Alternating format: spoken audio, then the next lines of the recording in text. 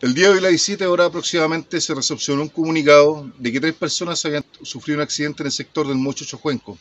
A raíz de ello, se activó de forma inmediata la red comunal de emergencia con la finalidad de gestionar y el apoyo de estas personas. Asimismo, Carabineros disponibilizó de forma inmediata un helicóptero institucional junto con personal GOPE, como asimismo personal especializado en montaña y frontera, los que se encuentran en este momento trabajando en el lugar con la finalidad de lograr la extracción de esta persona.